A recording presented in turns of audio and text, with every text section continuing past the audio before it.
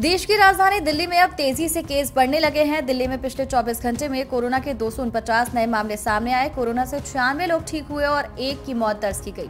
Positivity दर घटकर अब शून्य दशमलव चार तीन प्रतिशत हो गया है। कल भी दिल्ली में 180 कोरोना के नए मामले सामने आए थे। कल से अगर तुलना करें तो आज मामले बढ़ गए हैं। दिल्ली में पिछले 24 घंटे में कोरोना की ताज़ा स्थिति के बाद अगर कुल मिलाकर मामलों पर नज़र डाली जाए तो ये चौदह लाख तिरालीस हज़ार बासठ है। कुल सक्रिय मामले दिल्ली में अभी नौ है।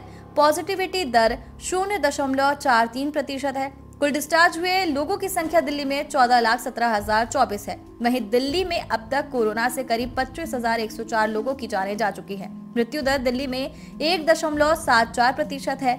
इन आंकड़ों से साफ़ पता चल रहा है, दिल्ली में कोरोना की दूसरी लहर कमज़ोर पड़ती दिख रही है। कोरोना वायरस और कोरोना वैक्सीन से जुड़ी हर महत्वपूर्ण खबरों से हमेशा अपडेट रहने के लिए हमारे चैनल को सब्सक्राइब कर लीजिए।